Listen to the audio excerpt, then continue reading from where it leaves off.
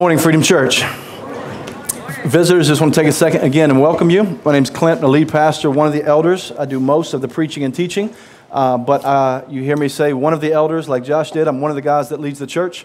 We think it foolish uh, for one man to run the show unless that man, his name is Christ. Um, we see in the scriptures that God has given a plurality of leaders to lead his church uh, to balance out gifts and strengths and weaknesses uh, that the church might be healthy. And so, again, I do most of the preaching and teaching, uh, but I'm just one of the guys uh, that leads this church. If you got your Bibles, flip to Matthew chapter 19. Matthew chapter 19, we're continuing a series called The King and His Kingdom, following Jesus together. And, uh, and throughout this series, we've been going in for about two, uh, almost two years, um, and we'll be in it for a little bit longer. Jan, I'm a little bit loud up, up here to me, so if you can turn me down a bit.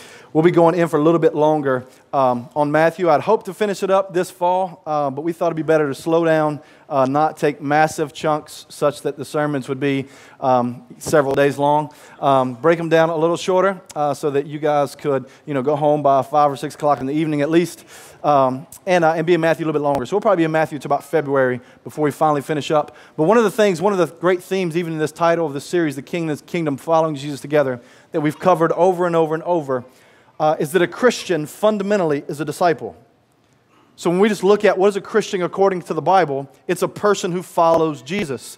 And a follower of Jesus is called a disciple. And so as we've gone through this, we've looked at there's not a like two categories. There's Christians who pray to prayer, and then there's those who are real serious, you know, and they follow Jesus. According to the scriptures, there's just one category. A follower of Jesus is a Christian, is a disciple. That's all one thing. And then what a church is, is a group of disciples who are following Jesus together. So that's what this series has been the King, Kingdom's Kingdom following Jesus together. Now, this morning we're picking up uh, in Matthew chapter 19. Um, and at some level, it's kind of part two to last week. Steve, do you have the PowerPoint? We good, beautiful, yeah. Um, so it's kind of part two to last week um, where we were at with the rich young ruler. And so I'm going to fill in some, some uh, dots, connect some dots for those who might be visitors, be, be, new this, this morning with us as we go. But let me pray one more time and, uh, and we'll jump in. Father God, we come to you now in the name of Christ and by the power of the Spirit, asking, would you send your Spirit to open our eyes? The Spirit dwells inside of your people. So, Spirit, we know that you are already here, but we ask that you would move in power to open up our eyes, the eyes of our hearts and our minds, that we might hear and understand your word. God, we thank you that you're a God who has spoken to us. We don't have to wonder what it is you want. We don't have to wonder what your heart is like, what's on your mind. You have spoken to us through your Spirit, pinned it in the Scriptures, and now speak to us through the Scriptures. And so, Spirit, we pray you be pleased to show us Christ in your word. Help us not just be hearers of the word, but doers of the word. So move in power, prepare our hearts. Speak to us now in Jesus' name for his sake. Amen. David Livingstone missionary hero to Africa. Uh, he, came, he left from England uh, to take the gospel to some remote parts of Africa in the 1800s. And uh, on speaking to some students in Cambridge, so he addressed some students at Cambridge before he goes and is talking about this. He had been doing missionary journeys, so he speaks to some students, and he's talking about the sacrifice that it takes to take the gospel forward. And they'd ask him, like, just tell us about these sacrifices you're making. I want to begin with reading this quote for him on what he responded in those questions. For my own part, I have never ceased to rejoice that God has appointed me to such an office. People talk of the sacrifice I've made in spending so much of my life in Africa. Is that a sacrifice which brings its own blessed reward in healthful activity, the consciousness of doing good, peace of mind, and a bright hope of a glorious destiny hereafter? Away with the word in such a view and with such a thought. It is emphatically no sacrifice. Say rather, it is a privilege. Anxiety, sickness, suffering, or danger, now and then, with a foregoing of the common conveniences and charities of this life, may make us pause and cause the spirit to waver and the soul to sink. But let this only be for a moment. All these are nothing when compared with the glory which shall be revealed and for us, in and for us. I never made a sacrifice. I never made a sacrifice. How could Livingstone make this statement? Now, if you sold all that you had, literally today, if the Lord Jesus grabbed a hold of you, called you right now, told you to sell everything you have, leave family members behind, move to a remote part of the world to take the gospel such that you might not have any of the conveniences you're used to, could you get there and say, I made not one sacrifice?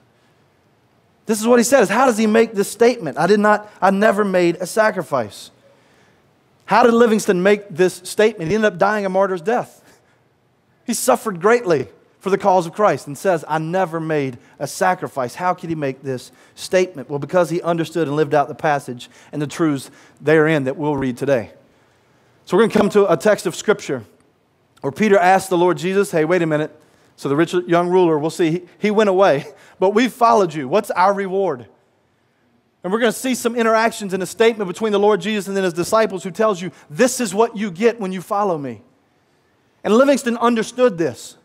When I get the promises that the Messiah gives to his followers, when I bank wholly on his grace, you can then make the statement, I never made a sacrifice. Because when I get Christ, I get that which is greater than anything I could ever lose.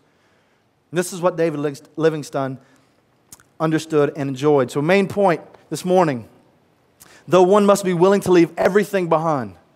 So, to be a Christian, you must be willing to leave everything behind. Jesus promises that the grace that lies ahead is immeasurably greater than anything left behind.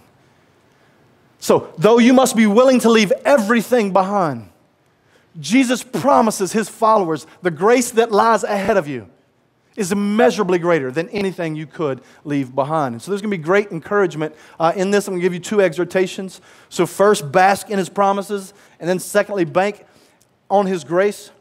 So, this is a little bit, I told Rachel, it's a little bit of an awkward text as I studied this week. You're going through the commentaries, there's some things that are a little bit confusing and, and wrestling within the text. And it's a little bit of an emotional, like you don't know how to respond. Because this first part really is, we're just going to bask in his promises. My hope is just to shower you with truth from Scripture that makes you stand in awe of the promises of God to his followers. Yet in it, Jesus gives us this little gentle rebuke that we need not think or be careful, be, be warned that we think somehow we earned those promises. And so, again, we're going to bask in his promises, but we're going to do so in a way that makes sure, makes sure we bank on his grace. So, if you want a title for the sermon, Grace Upon Grace. Now, Matthew chapter 19, we're going to pick up this week. First point, again, bask in his promises. If, if you've got uh, your Bible open, just flip to um, Matthew 19 in verse 16. I'm going to summarize for you where we were at last week so you can understand the interaction we jump into. We pick up this week right after the rich young ruler who had walked away from Jesus sad. You remember the, the guys, remember the interaction. It was a good man who goes up to Jesus, whom he called a good teacher, and then he asked that good teacher, What good deed must I do to inherit eternal life? So, this good man, remember we talked about this is the kind of dude you want your daughter to bring home. Moral, upstanding, has obeyed the law, he's rich, he's successful, he's climbed the ladder, he's a good dude. Nobody could bring any charges. So, this good man walks up to Jesus and says, Hey, good teacher, what good deed must I do to inherit eternal life? And so, comes and has this interaction. And Jesus responds to him by saying, Wait a minute, why are you asking me about what is good? There is only one whom is good, as Josh talked about in the scripture reading this morning. So you come up to me asking about what, good, what is good. There is only one whom is good, which is God. But I'm going to play along with your logic. Jesus is going to go along with his logic, and he's going to expose all kind of brokenness in this good man. And so he says, What must I do? And Jesus goes along with the man's kind of arrogant ignorance. Remember that phrase we talked about? So the man's arrogant, though he's ignorant of his arrogance. So he doesn't know that he's a lawbreaker. He thinks he's a good guy. So he's ignorant of that arrogance, but Jesus goes along with him and he says, If you would enter life, keep the commandments. And the rich young man says, Well, which ones? All right, Jesus, if I'm supposed to keep the commandments and that's how I get to heaven, which ones? And Jesus quotes for him the sixth commandment, seventh commandment, eighth commandment, ninth commandment, then goes back to the fifth commandment and then summarizes with Leviticus 19:18, which says, You should love your neighbor as yourself. So he says, No adultery, no divorce, no lying, no false witness, honor your father and mother and love your neighbors yourself. And so he summarizes basically the second decalogue or the second tablet of the Ten Commandments. and says, what, is, what obedience to God looks like is loving your neighbor. And what this guy does in his ignorant arrogance is say, All these I've kept. So he says, I've done all those. I haven't committed adultery, haven't murdered, I'm a good person. I've done all these. And then he asks this question that is so penetrating, particularly for the good old boy in the South in small town USA. And he says, What do I still lack? What is I still lack? Because he knows I've done all the rules. I've, I've obeyed all the things I'm supposed to obey on the outside, but what is it do I still lack? Is there some massive good deed I'm supposed to obey that will make me know I've actually earned my way into heaven? And then Jesus does something that exposes not only have you broken the second tablet of the law, the Decalogue, of not loving your neighbor as yourself, but you also have broken the first commandment there shall have no other gods before me. You've shattered all 10 commandments. And how does he do this? Jesus says to the rich young ruler, the rich young man, All right, if you'd be perfect, if you'd not be lacking anything, go sell, all that you possess, give to the poor, then you'll have treasure in heaven, and come follow me. And we see and find out this rich young man walks away sad because he had great possessions. And so Jesus asks this question and exposes not only do you not love your neighbors yourself, because look at all these poor people. If you love them like you loved yourself, you would sell everything and give to them. But you won't do that because you love yourself, number one. Not only do you not love them, you don't love me with all your mind, heart, soul, and strength because you're going to walk away from the God of the universe because your God is not Christ, but your God is cash. And so he, he asks this question. He has this moment with this rich young ruler who's a good guy, and he walks away sad, which is an act of worship. It's a worship of his possessions, it's a worship of his treasure, and a rejection of Christ. And the disciples are standing there, and Jesus looks at them and he says, Just let me tell you something. It'll be harder for a camel to go through the eye of a needle than for a rich person to get in the kingdom of God. So it, it'd be easier to get an elephant through the little hole on a needle than for a rich person who thinks he can provide for himself and take care of himself and is in himself a good guy to get to heaven. And the disciples are sitting there like, okay, wait a minute. This was the guy every dad wants their daughter to bring home. If he can't go to heaven, who can? If this guy can't get in, he's got it all together. He's wealthy, he's successful, he looks good on the outside, he hasn't done any big bad things. If he can't go to heaven, who can? If the rich guy can't get in, what hope does the poor guy have? And Jesus looked at his disciples and said, With man, this is impossible, but with God, all things are possible. So Jesus exposed in this moment to his disciples no man can get himself to heaven. No man has the resources in and of himself to get himself to heaven, but God has the resources in and of Christ to get any sinner to heaven. The greatest and worst of sinners can get there through Christ, but the best of sinners cannot get there without Christ. And so that's the moment that we come out of. And so the, the disciples are standing there, and now Peter is going to speak up because he's thinking, wait a minute, I just saw the rich guy, the good guy, walk away sad. But we're still following you. Like, Jesus, we're here. like, we're with you right now.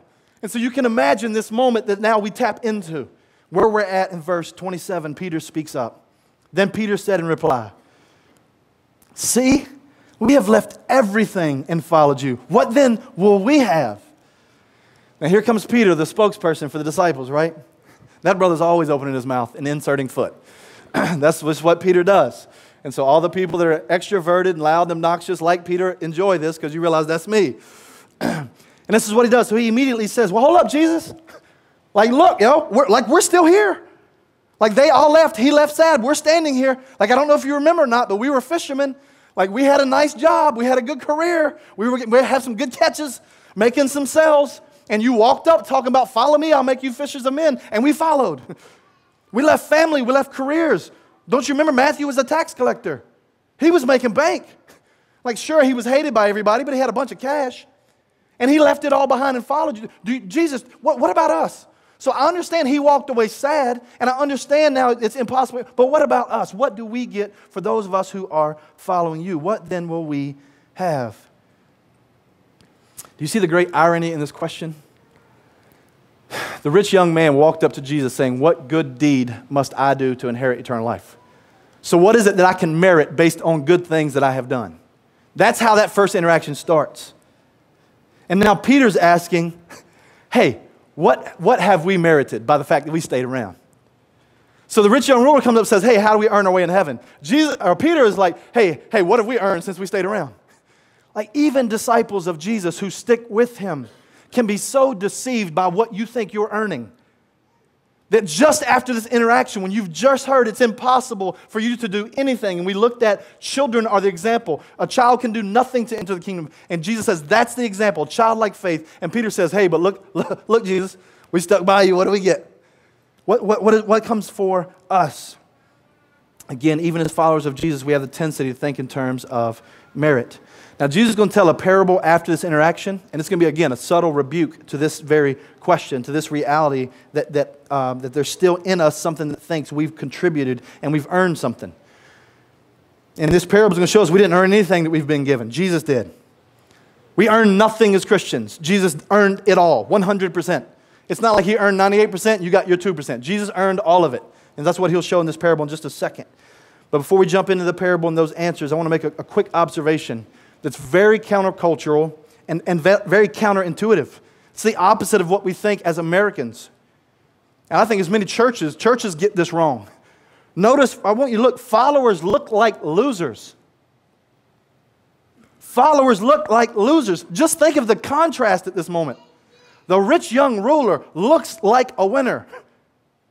He's brilliant, he's got money, he's a good dude, the disciples are homeless and following around a homeless rabbi who's going to go be crucified as a criminal.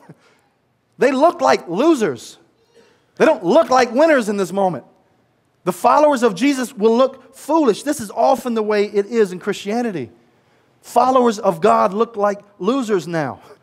For now. We look like losers for now. Because we're unwilling to participate in wickedness for worldly gain. We don't live for the almighty dollar. We don't live for the approval of man. So we don't do things that make us climb ladders to impress people who don't love Christ. And so we look like losers, those who are out of our minds. Because think, I mean, just think, do you ever think about as Christians what we live for and what we believe? We are anticipating a once dead guy who we believed raised from being a rotting corpse to come back riding a horse in the sky. This is what we believe. We are losers in the world. Makes no sense to non Christians. Foolishness, Paul would say in 1 Corinthians. What we believe is absolutely moronic to the mind who doesn't know Christ. It makes no sense. Followers of Christ in this life are and can appear to be losers for now. This is why Paul said in 1 Corinthians 15 19, if in Christ we have hope in this life only, we are of all pity most, or most, sorry, we are of all people most to be pitied. So Paul says, if you're a Christian, you only have hope in this life and not the next one, we're the most to be pitied. We are foolish. Again, followers look like losers in this life, but only in this life and only for a time. But in Christ, we don't have hope in this life only. So Christ did resurrect. He is coming back on a horse in the sky. That is going to happen. That's going down. So that, that's good. So we do have hope more than this life in Christ. So let's look at a few just breathtaking promises Jesus makes to his followers. And I just, my, my prayer even now, I just beg that God would help us bask in these promises. If we'll slow down, we're, we're always in a hurry. We're always on the phone, checking text, Twitter, Facebook, Instagram, what's going on. Sorry, apparently I got fussed at yesterday for posting too many Insta pics. Overgram, I think Rachel called it overgramming. I apologize for overgramming yesterday. We had a good time with the kids, Roger, and thanks for the tickets to the game. So we had like we, we get so in a hurry, there's so many things going on. We can't slow down and bask in the promises of Christ. Look at verse 28. Jesus said to them, Truly I say to you, in the new world, when the Son of Man will sit on his glorious throne, or throne of glory, translated literally, throne of, when Jesus is sitting on the throne of his glory in the new world, you who have followed me. Now, notice again, this is what we've seen through Matthew. He doesn't say, You who have asked Jesus into your heart. He says, You who have followed me.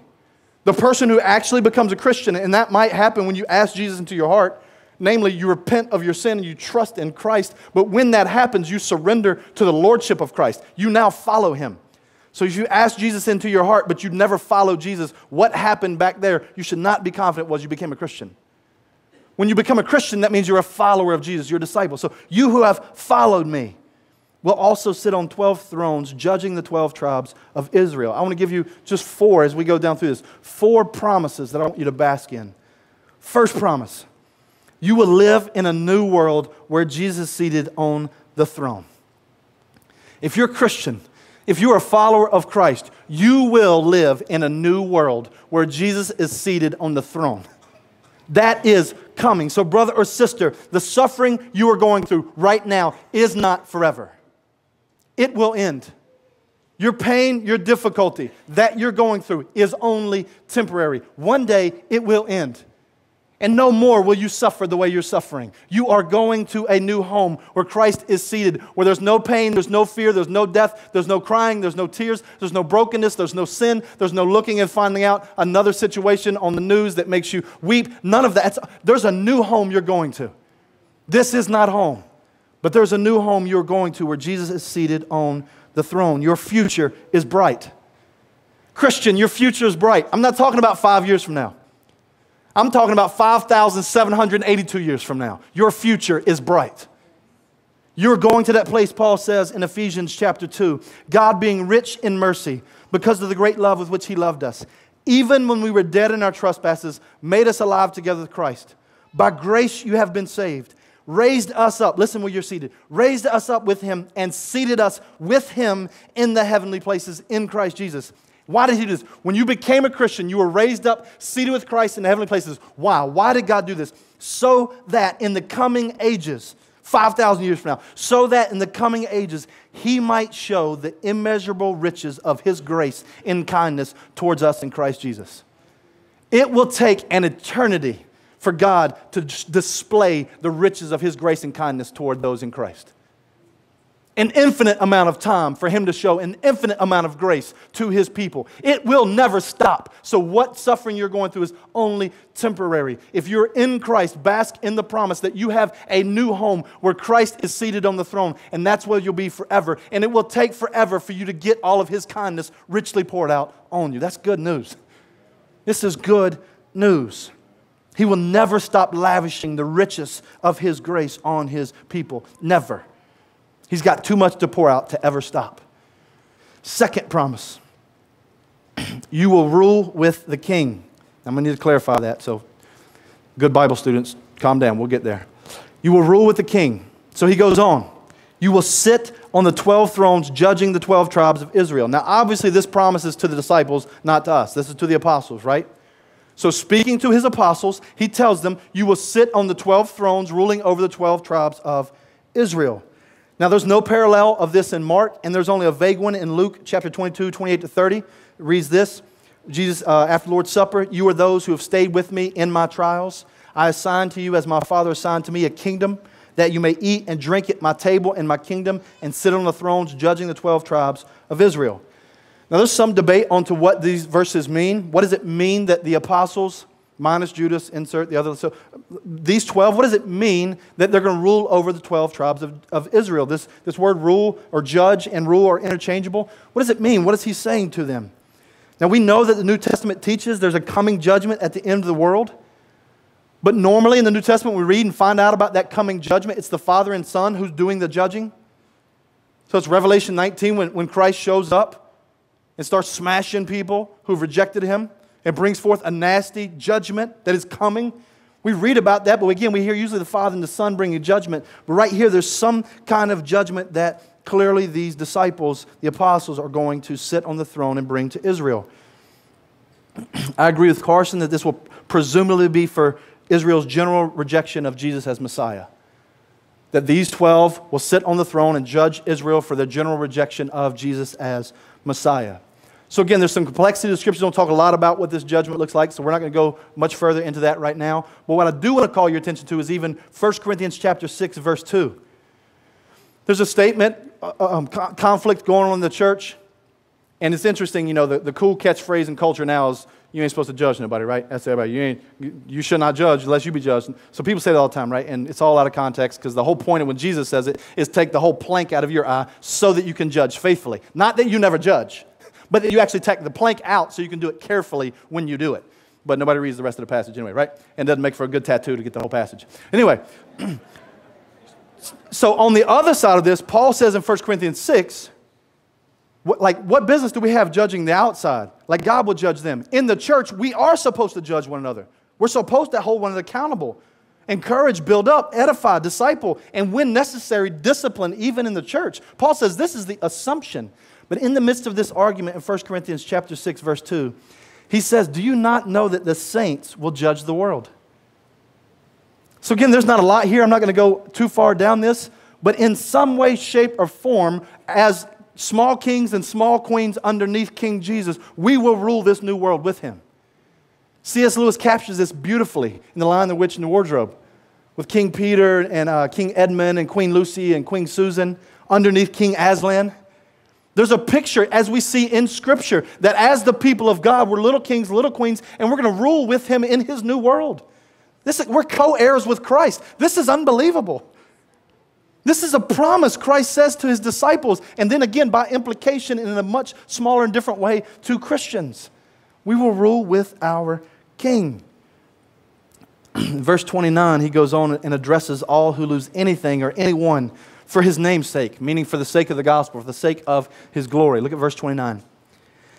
Anyone who has left houses or brothers or sisters or father or mother or children or lands for my name's sake, not for promotion, not leaving one house for a big one, right? No, anyone who's left family member or home or, or passed behind for my name's sake, for the sake of Christ and his gospel, will receive a hundredfold and will inherit eternal life. Promise number three, I want you to bask in. You will gain immeasurably more than you could possibly lose. This is a promise for you if you're a Christian. You will gain immeasurably more than you could possibly lose. That take it to the bank. That's going to happen. No matter what you leave behind, you will gain more. We may appear to be losers now, but that's not the case in the long run. We might look like losers now, but in the long run, hundredfold. This doesn't, he doesn't mean hundredfold literally, like literally 100 times. It's just a phrase we'd use like a lot. like you can't even imagine what you will gain as you leave other things behind. To, to follow Christ might mean being ostracized by your family. That really might be the cost. Christ might call you to come to himself and your family say, if you're going to live like that, if you're going to be a Christian, get out of our family. That happens. I sat at Wingate University in a Bible study with a Hindu having a conversation. He looked me dead in my eyes and he said to me, Clint, do you understand? If I pray to receive Christ right now and follow what you're teaching me, which I think is true, that my family will cut me off and I don't know how I'm going to pay for college or school or rent tomorrow. So he understood there's a cost. I might lose everything should I follow Christ. And like the rich young ruler, he, he couldn't do it. He walked away sad. But what the promise right here is whatever you have to turn away. You might be ostracized by your family. But when you follow Christ, you get the family of God. You might lose your mother and father. When you follow Christ, you get his multi ethnic, multi generational, multi social, multi cultural, multi socio economical family of God. You got all kind of fathers in the faith. You might lose mom and dad, or brother and sister, or son or daughter, but you will gain all of God's people. You get God as Father, you get His family as your family, whatever you leave behind. And this is why I think about all the times we talked about this summer hospitality. Christians skip over hospitality in the Bible like it's not a big deal. 1 Peter or 1 Timothy 3, a pastor must be hospitable. If he's not hospitable, he's disqualified from being a pastor. So we normally would say if a pastor cheated on his wife, he shouldn't be a pastor anymore. He's disqualified. How many people would ask the question if a pastor is not hospitable, he shouldn't be a pastor anymore? It's in the same list. If he doesn't welcome strangers into his home, why do you think we're supposed to do this? Jesus says, if you leave behind homes and family, don't worry. Our homes and our families now, your homes and your family, we got you. No matter what you leave behind, there's immeasurably more than you could ever lose in the kingdom of God. And this is the promise for Christians. This is what led, led David Livingstone to, to say what he said I made no sacrifice. Sure, I left my earthly family. His wife ended up very, very sickly, dying of malaria. He suffered greatly. Yet he would say, I made no sacrifice. Why? Because he understood this. He understood. Anyone who's left behind mothers, brothers, sisters, fathers, sons, daughters, homes, hundredfold. Mark and Luke will say, in this life and the life to come. Many of you, I've been having conversations, great conversation with Teresa Britton, a member of our church. Somebody's talking to her. She's been ministering to somebody in the, in the community. She's reaching out, trying to love on them. And they're like, man, I, I, what's this? I just don't get what y'all are doing. She's like, well, I don't have many family members. But now that I'm in Christ and I'm remember this church, I realize I got more family than I know what to do with. I don't even know all my family members. That's true. This is biblical. This is what Christ is saying. You get immeasurably more than you could ever lose. This is the third promise for the Christian. And then, lastly, fourthly, promise you will inherit eternal life. You inherit eternal. Christ is the key to eternal life. To repent of sins, to follow Jesus, to come to Jesus, with childlike faith, is to inherit eternal life. What an inheritance! Death poses no threat to you. No threat to you if you're Christian. If you're in Christ, there's no need for you to fear death. It's okay to fear the pain of death and to fear some of the sadness because we're in a broken world. But theologically, it makes no sense for you to fear death because you inherit eternal life. This is why Paul would say to live is Christ, to die is gain. Because all of these promises that I'm trusting by faith now become reality when I die. With my eyes, I see them. No longer do I trust with the eyes of my heart, I see with the eyes in my dome piece. like I get to lay my eyes on these promises. And so you inherit eternal life. There's no need to fear death. To live as Christ, to die as gain. No suffering, paradise with God when we die. Now, Jesus summarizes this, verse 30. In this brackets, this is the reason we're, uh, we're covering all these verses together. Verse 30, there's this little proverbial statement, this little proverb that Jesus says. But many who are first will be last, and the last first. So again, Jesus gives this little proverb that serves as a gentle rebuke and then leads into this parable that does the same thing. So what he's saying is those who, who, who live for his name's sake, those who follow Jesus, they can look like losers in this life. They can be those who would be pitied in this life. They look like last right now, but from heaven's point of view, first. So it, there might be plenty of Christians among us who feel like I'm a nobody. I don't, I don't do anything impressive, but you faithfully walk with your God. You faithfully show up in your eight to five. You faithfully love your wife and kids. You faithfully point them to the Lord Jesus. You're on your knees praying for them. And Jesus says, in the end, it's all going to shake out. Those who appear like the rich young ruler to be first in this life, who had treasures in this life, will be exposed to be last. Those who look like foolish losers in this life like Paul running around banking and trusting that the church would take care of him. And where he, and even in that, he said, I'll be a tent maker so that nobody has to. But people who look foolish like losers, believing in some guy who died coming back on a horse in the sky, those people who appeared to be last will be first. So this is the, the, this gentle rebuke. Jesus saying, hey, you got your mind thinking worldly. You think bigger is better. You think more people equals more blessed. You think somehow that means highly favored. You've got your mind set on the things of the world. First will be last, last will be first. The way Jesus does things, we will be shocked who are the heroes in the faith. And this is his promise. And so then he moves on into this parable. And Jesus knows about these great promises. Even the faithful disciple of Christ can, can suddenly and, be snuck up by this attack of pride. Because suddenly it's like, that's right, these are my promises. I do have a new world coming for me where Jesus is on the throne. I will rule with this king underneath him somehow. And again, we don't quite sure, but I will. I'm going to inherit eternal life and I'm going to gain immeasurably more than I ever lost. And so suddenly, subtly, you can begin to think somehow you contributed to that. Like Jesus looked at you and was like, man, that guy would make a really good Christian, so I'll save him and make him a Christian. Subtly, it's just these little bits of pride in us that think somehow we contributed to those promises. And so Jesus goes into this parable and reminds us to bank on His grace. You cannot bask on these promises if you're not banking on His grace. You can't do it because you think subtly you contributed to the promises. When you realize I contributed nothing but all grace did, then it makes you bask and enjoy the promises at a completely different level. So, second and final point, only two today, sorry. Bank on His grace. So Jesus goes into this parable, and I'm just going to read through it and kind of make some comments and summarize it at the end. Chapter 20, verse 1 For the kingdom of heaven is like, so he goes into this parable about the kingdom. The kingdom of heaven is like a master of a house who went out early in the morning to hire laborers for his vineyard. After agreeing with the laborers for a denarius a day, he sent them into his vineyard. Now, common work day in this culture would have been about 6 a.m. to about 6 p.m., 12 hour workday, sunrise to sunset. That would have been the normal workday. And so there's going to be hours and times where you're like, what does that mean? Six to six, 12 hour workday. And so, first thing we come up, there's, there's a, um, a farmer, a master, house owner.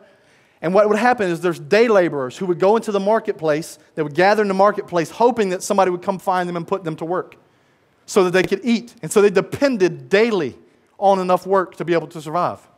So it was a day to day minute by minute, hoping you could get work. And so you go to the marketplace and hope that some master of some house would come put you to work. And this master of a massive vineyard comes to the marketplace and he hires some workers and he agrees with them for a denarius a day. Now, that was a common day's pay. I think it was equivalent to about a penny, I, I think, ish. Scott could correct me if I'm wrong. But it, it wasn't a whole lot of money, but that was the equivalent to a day's worth of work, all right? So this was the expected amount of money to get paid. So this was minimum wage for 12 hours worth of work, all right? So this is, this is the agreement. So he grabs some workers and he puts them to work. He sends them into the vineyard. And then in verse 3, we'll see about 9 o'clock in the morning, the master of the house goes out again. So from 6 to 9, this original group of, of workers is working. Then about 9, 9 a.m., the master of the house goes out again. Look at verse 3. And going on about the third hour, so again, 6, 7, 8, 9, third hour, he saw others standing idle in the marketplace. So, 9 o'clock in the morning, there's still, still workers standing idle. They're, they're not working, they're just standing there. And he goes out and notices you're idle, you're doing nothing. So, one, that means you might be able to eat. Two, you're, you're not contributing to society. You're just being lazy and standing in the marketplace, idle with nothing to do. And so he wants to give them something to do. Verse 4. And to them he said, You go into the vineyard too, and whatever is right, I will give you. So they went. So notice the first group at 6 a.m., they agreed a denarius. The second group, coming in at 9, agrees to whatever's right. And so they trust the master is going to pay them whatever's right for the amount of work they're going to do. Verse 5 goes on, going on about the sixth hour and the ninth hour, he did the same. So at lunchtime, and then again at 3 o'clock p.m., he made the same arrangement with even more workers. So again, you got the group that started at 6 a.m., a group that started at 9 a.m., a group that starts at lunch, and then a group that starts at 3 p.m. And with the 9 a.m., lunchtime, 3 p.m. group, they just agree, I'll pay you what's right. So this is the interaction. That's what's going on in the vineyard. And then verse 6 is where it gets tricky. And about the 11th hour, he went out and found others standing and said to them, Why do you stand here idle all day? So it's about 5 o'clock. People clock out at 6, all right? They shut her down. 6 o'clock. He goes to the marketplace at 5 and he says, Why do you stand idle all day? They said to him, Because no one has hired us. He said to them, You go into the vineyard too. So one hour before clocking out, he hires some more workers who've stood around for 11 hours, just standing in the marketplace for 11 hours. He goes and hires them one hour's worth of work. And this time he doesn't mention pay. Let him talk about it. I would imagine at that point, you're like, it's 5 o'clock. This brother ain't going to pay me nothing. He's going to make me work and tell me to come back tomorrow. Maybe he'll pay me tomorrow. But this is, we don't, he doesn't say, there's no agreement, but they go out to the vineyard to work. Then verse 8 And when evening came, the owner of the vineyard said to his foreman, Call the laborers and pay them their wages, beginning with the last up to the first. Now, let me give you a little hermeneutical lesson, real quick. Hermeneutics, science of Bible study. How do you study the Bible rightly? When we're reading a parable, an error a lot of times people make when they're interpreting a parable and interpret it all jacked up kind of ways is suddenly you try to make everything in the parable symbolic of something. And so you can read through this in church history, people making parables mean all kind of crazy stuff in a parable, there's usually one point. There might be two or three in some circumstances, but a parable is meant to convey one thing. It's an illustration to get you to get one point, something central to a teaching. So don't, we don't need to go uh, attributing and making everything metaphorical for something else. There's one point. And when we get to this last phrase, beginning with the last up to the first, something in our minds should connect. Wait a minute. Do you remember the last sentence in chapter 19, verse 30? Look at that again. Many who are first will be last, and the last first. Look down, chapter 20, verse 16. The last will be first, the first will be last. And so in this parable, he said, Go out about the last hour. those guys go work. Then now he tells his foreman, I want you to settle up with them. I want you to pay them, but I want you to get those who went last first. And so now we should be clicking in. Okay, the point of the parable is coming. Let's figure out what he's going to do with it. What's he trying to teach us? Verse 9. And when those hired about the 11th hour came, each of them received a denarius. This is shocking.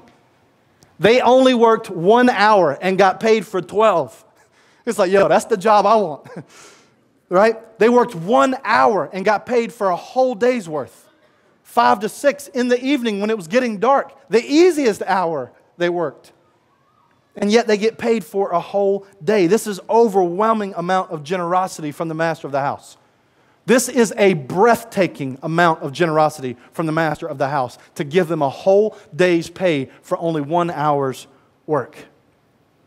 Now, however, remember, Those people got paid first, which what does that mean?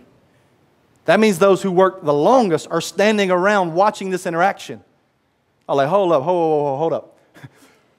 He's getting how much?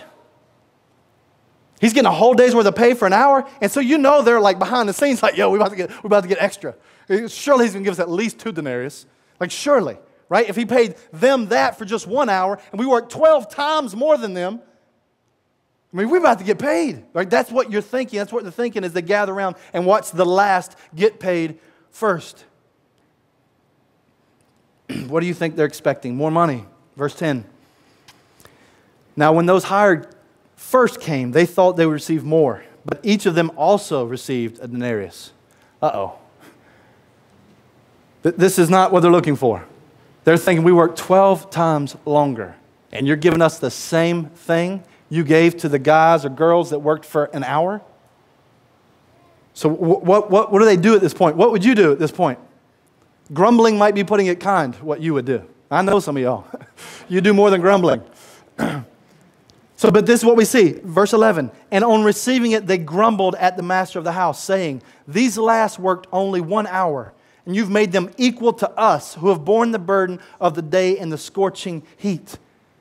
So they complain, they grumble, they're frustrated. You made them equal to us. You brought them up to our level. You brought them up to us. Notice he, they don't say, You brought us down to their level. It's like, No, no, I'm angry at you because you brought them up to us. We deserve more than them, is what they're saying. They're not saying, You didn't pay us what we deserve. They're saying, We deserve more than them. And we're starting to get close to the point of the parable. Because suddenly they're saying, wait a minute, what I've done is more impressive than what they've done. I should get more than them. I'm not even talking about what you and I have agreed to. I'm just talking about me compared to them. I'm better than them. Give me more than them. That's the interaction that's going on right here. Their anger is not an injustice of the man towards them, but they're angry at his generosity to others. That's what they're angry about. He's not been unjust towards them, he's just been extremely generous to the others. That's what makes them angry. This is classic elder brother syndrome.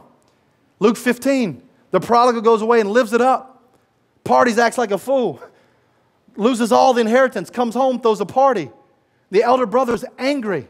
So the father meets him, throws a robe on him, ring, shoes on his feet, kill the fattened calf. He was lost, now he's found, he was dead, now he's alive. Let's party. And the elder brother's like, Why are you throwing a party for him? I've been the good one. So he's not mad because the father's mistreating him. He's mad because the father's giving much generosity that's undeserved in grace to the younger brother. And so this parable is displaying elder brothers hate grace. We don't like it because we want to think we did something to earn it. And this is the whole point that the rich young ruler was displaying. What good deed must I do? And then Jesus says, It's impossible for you to do good enough deed to get into heaven. And we understand Christ died to get anybody into heaven. That's how God makes the impossible possible by God dying and resurrecting and coming back to life. And then you can repent and believe and have life in His name. But then Peter says, But wait a minute, what's our reward? And Jesus says, Let me blow your mind with some breathtaking promises, but let me remind you, you didn't earn one of them. Those promises that you need to bask in, you earned nothing of.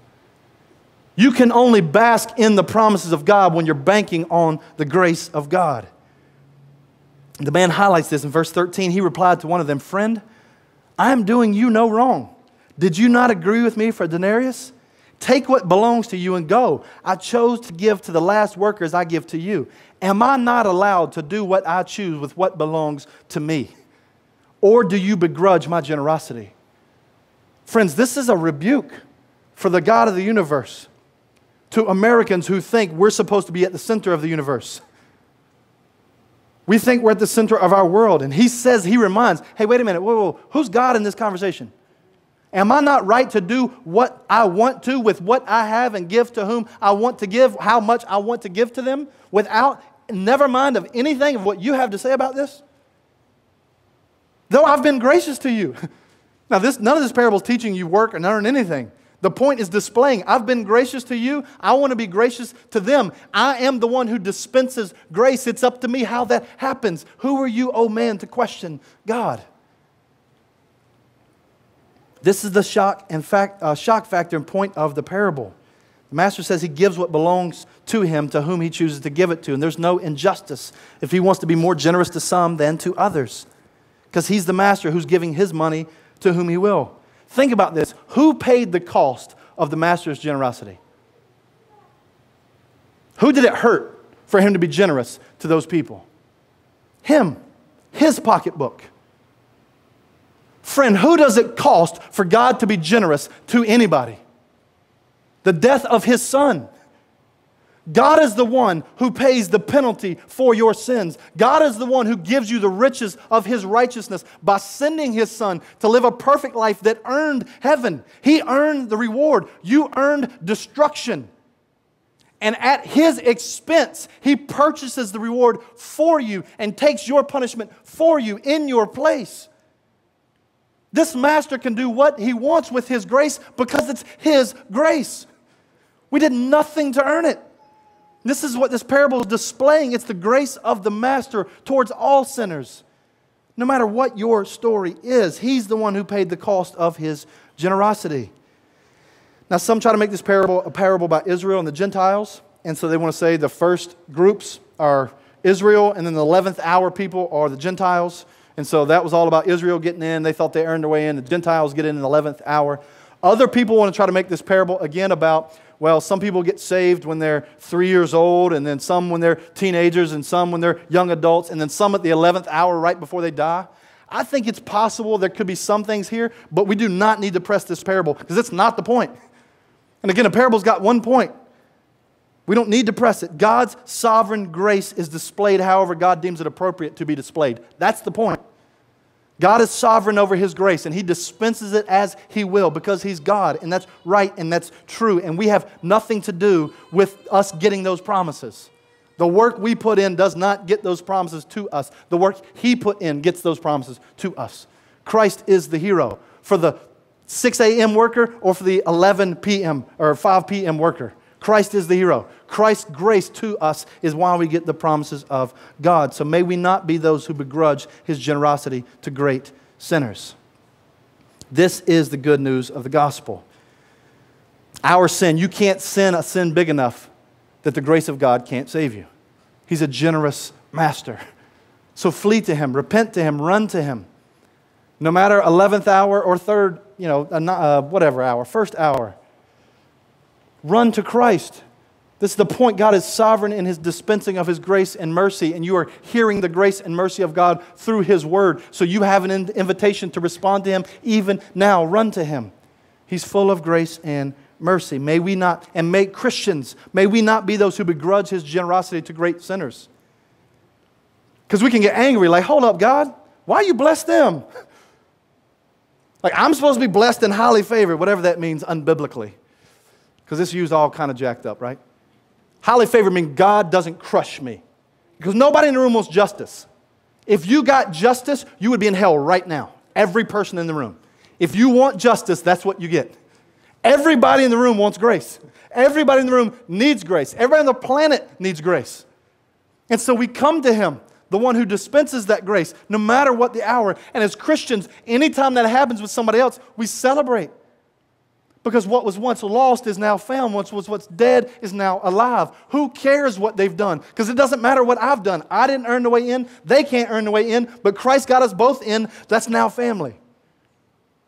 This is the good news of the gospel. This is what it does. It unites us together in grace because now suddenly the church is now a hospital for sinners who realize we're all banking on grace. It's like, how, how many poker chips you got? All right, here's how many I got. Let's all put it on grace. Let's all just push all of our chips in on grace. That's who a, a church is a bunch of people who are banking on the very grace of God. So, as we bank on that grace, let's just remind you bank on grace so you can bask in the fact that you'll live in a new world where Jesus is seated on the throne. Bank on grace so that you can bask in the promise that you'll rule with the king in that new world. Bank on grace so that you can bask in the promise that you will gain immeasurably more than you could possibly lose. And bank on His grace so you can bask in the fact that you will inherit eternal life. We have done nothing to earn this. We're all banking on His grace. Why would we begrudge His generosity to others? This is Paul's language in Romans chapter 9. And this is a very difficult chapter, and I'm not going to get into all of it, but this is the language. Friends, it puts us in a right place of submission to God's mercy. Romans chapter 9, verse 14, Paul says, What shall we say then? Is there injustice on God's part? By no means. For he says to Moses, I'll have mercy on whom I have mercy, I'll have compassion on whom I have compassion. So then it depends not on human will or exertion, but on God who has mercy. For the scripture says to Pharaoh, For this very purpose I've raised you up, that I might show my power in you, and that my name might be proclaimed in all the earth. So then he has mercy on whomever he wills, he hardens whomever he wills. You will say to me then, Why does he still find fault? For who can resist his will? But who are you, O man, to answer back to God? When we understand this God is the one who gives us grace, our, we bow to our knees and say, God, give me grace and give your grace to every other human being that I can get your grace to. This is the right posture of the person who understands God's redeeming grace. I want it to go to everybody. I don't begrudge his generosity. I bask in his promises that become because of his grace, and I try to take that to as many human beings on the planet as God would let me do. This is what grace does. Jesus brackets in the parable with the reverse order of what he said. So again, look at chapter 20, verse 16. So the last will be first, and the first last. For the Christian, there's no room for pride, and there's no need for despair, because it all graces out in the end. So instead of saying it all works out in the end, for the Christian, there's no room for pride. You have nothing to be proud of, but there's no room for despair. You have nothing to fear. It all graces out in the end. The first will be last, the last will be first. We'll find out who actually was banking all on grace and who God used. And it might be the least of these people who we think no, we don't even know their names. And we get to heaven, we find out God used them in ways we could never imagine. The first will be last, the last will be first, and we will all glory in God's good work and how He did that. It all graces out in the end. So, in conclusion, we can bask in His breathtaking promises to us because we are banking on His grace. You, you can bask in His promises when you bank on His grace. So, my question to you this morning as we wrap up are you banking on His grace? Are you banking on His grace plus your goodness or His grace alone? And are you basking in His promises? Are you just resting and enjoying the fact that you know your future? You know your end? Or are you begrudging His generosity? Where's your heart? Turn to the Lord this morning. If you're not a Christian, run to Him. He's full of grace. Turn from your sin, turn to Christ, come to Him. If you are a Christian, don't begrudge His generosity. Bask in His grace, bask in His promises, and take His grace to others. Let's pray.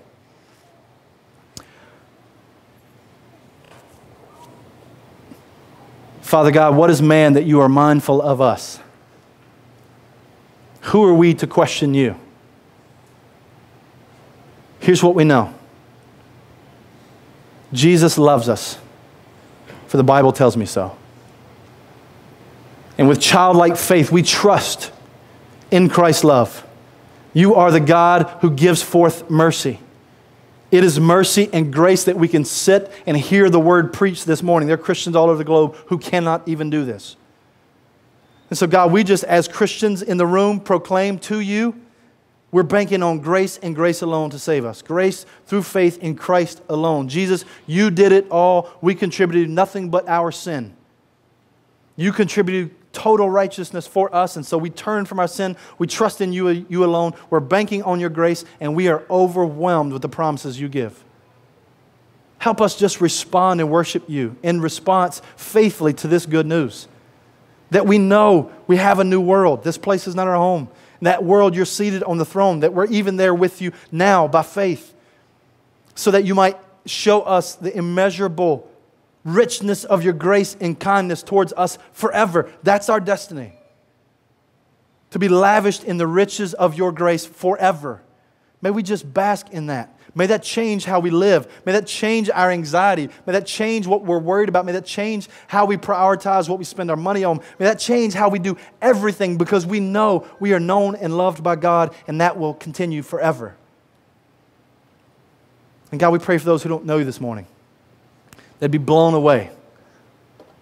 That your generosity is so shocking, you would take great sinners even at the last minute. I pray they wouldn't abuse that grace, though, and put it off. I pray they repent and believe today. They would come to you. Jesus, we pray you get the glory that you're due. We just proclaim to you now you're worthy. Praise in Jesus' name. Amen.